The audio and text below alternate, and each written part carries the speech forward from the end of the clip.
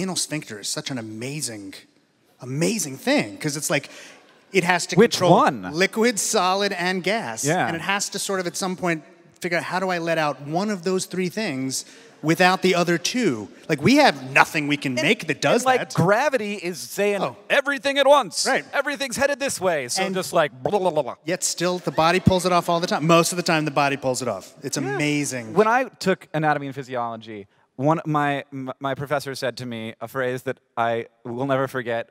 We're not really sure what the rectum does. And I was like, really? it's sort of like a packaging plant. Yeah, I mean, it is. It is amazing to think about how the body can do. That. I mean, you got all that stuff down there, and it can selectively choose most of the time. Selectively choose sort of which of those. Well, you can't choose. No. You can know. I'm I can't like sit here and be like, okay, now I'm gonna fart. Now I'm gonna poop. Now I'm gonna fart. No. I can't I, choose. I, well, I like to think some people can. I don't know. Maybe no one. I yeah, you don't remember anymore. I don't know. But it's like, yeah, that I like to think that some people like I can fart right now without pooping, or the uh, you know I don't Yeah. think you can poop without farting.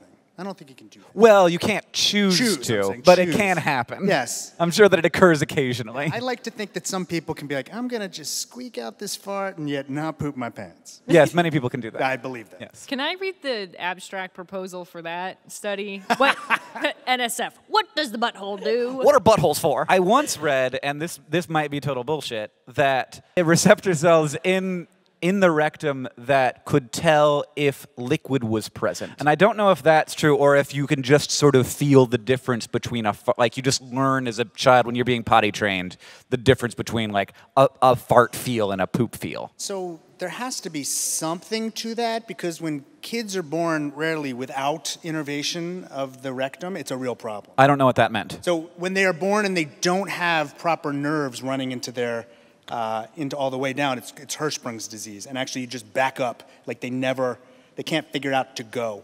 Oh. It's a real serious problem. So there probably is something to that that the Well- way that it is innervated, the way that the nerves go in there, make a big difference. Yeah, I mean there's definitely a, When I some was kind being of, serious, all of a sudden it got so quiet. Yeah, uh, but there's definitely something to the positive feedback loop of pooping, where like, like it's like some like if once the button gets pushed, it's like I'm opening up now. Yep.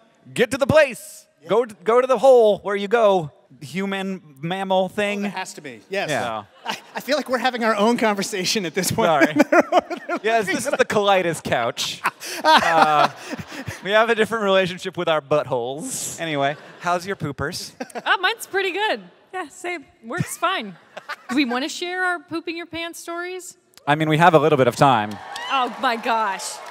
Well, you know, so when we went to Peru with the Field Museum for filming, you mm-hmm. know, we had our rabies vaccines and our other vaccines and whatever, and they give you, you know, uh, antibiotics in case you get sick. And they're like, you'll know when you need to start taking the antibiotic. And I'm like, no, but like, should I take it when I feel a little like this one day? And they're like, no, you will know when you need to start taking that antibiotic.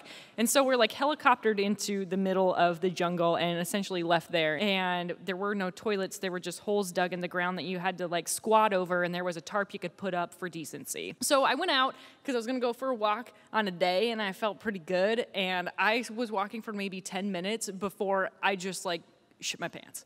Just like it's just there was no warning, there was no feedback loop, there was no this might be liquid. It was just I was just walking in the jungle and like I think I was like vlogging like at the time.